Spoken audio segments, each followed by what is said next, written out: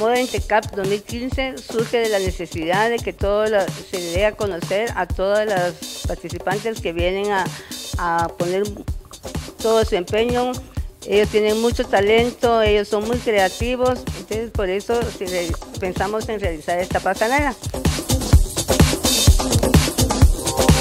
En la Semana de la Moda Intercamp se realizaron varias actividades en las cuales hubieron talleres, concursos, culminando con una excelente pasarela en la antigua Guatemala.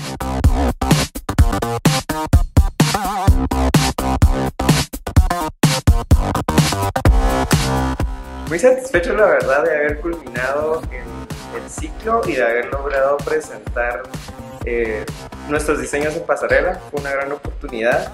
Eh, valió la pena el esfuerzo, valió la pena los desvelos y el trabajo. Eh, la creatividad fue plasmada en todos nuestros diseños y estoy muy contento de haber podido tener mi diseño en, en pasarela. Bueno, mi diseño constó de un traje sastre, fue una chaqueta negra bordada de pedrería en el cuello, una falda básica de tela típica, porque ese era el tema que, que se nos fue indicado.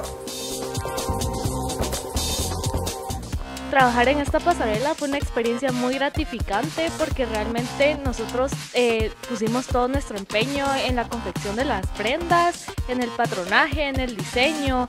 Eh, realmente lleva mucho trabajo, desvelos, eh, cansancio, tiempo extra, porque uno sacrifica a veces tiempo con su familia o con los amigos para venir a coser y que tus prendas queden bien y que sean algo que realmente la gente pueda usar, algo que esté bien confeccionado.